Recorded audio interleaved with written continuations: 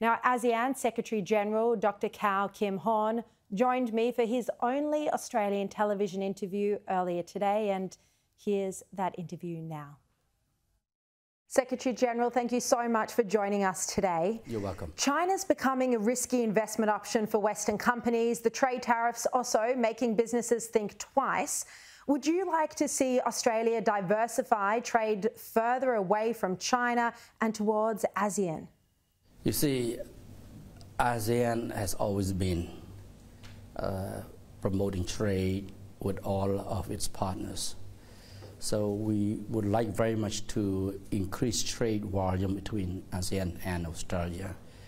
And I think the current uh, volume of, of, trade between uh, both sides is still, uh, of course, it's a, it's, it's, a good number, but we'd like to see more uh, increasing substantially uh, in, in the coming years, if possible. Will the free trade agreement be the focus of your meetings this week, and what other outcomes are you looking for? Well, uh, it's not just FTA. This week is uh, we're looking at, on the one hand, is to look at the past uh, five decades, but also look into the future, what more we could do to capitalize on the existing uh, relations, uh, partnership, and cooperation. Now we have the comprehensive strategic partnership. So what's important is that we have to uh, do more by working together across the different sectors do you think the COVID pandemic and the aggression from China has shown us that it's important for countries like Australia to not overly rely on China and move towards ASEAN?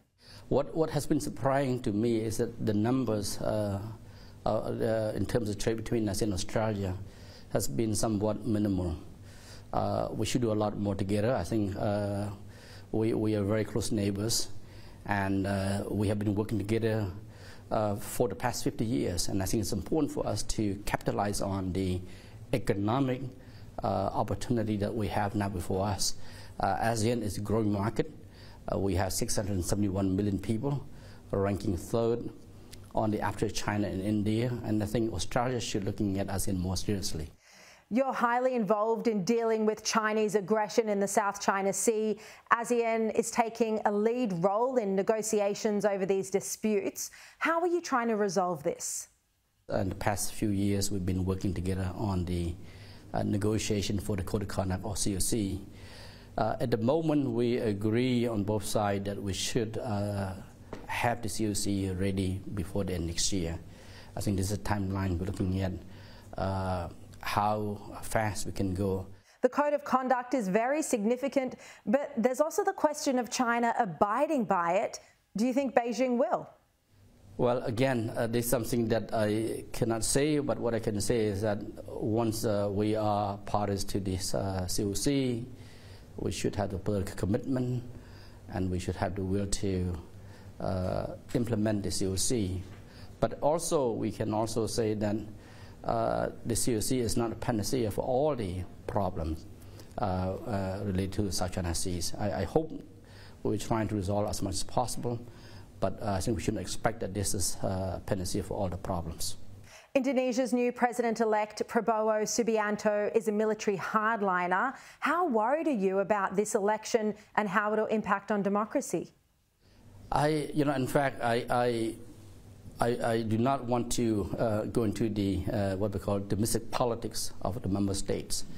But what I can say is that uh, Indonesia has strong institutions, uh, a lot of experiences, and I believe it's uh, what transpired is the will of the people of Indonesia, and we have full confidence and trust in the leadership uh, in Indonesia.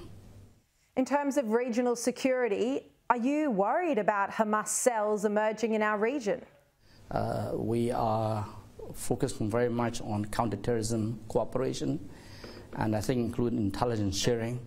So I believe that uh, this is still the hard, uh, the hard work, the, the, core work of ASEAN at the moment.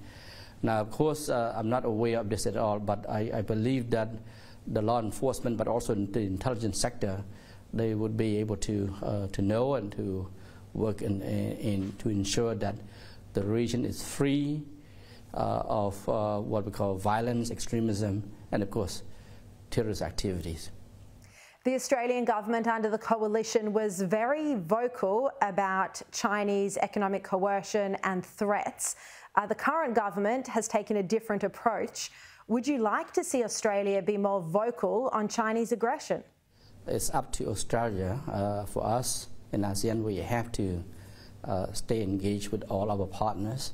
China is uh, a partner of ASEAN as well. In fact, one of the comprehensive strategic partners of ASEAN. So I think we have to work together. Uh, any differences uh, that we have, we have to engage uh, constructively, uh, openly, and transparently. This is how we do in ASEAN. We will continue the what we call the cultural dialogue and habit consultations, and of course the policy engagement. Thank you so much for your time. Thank you.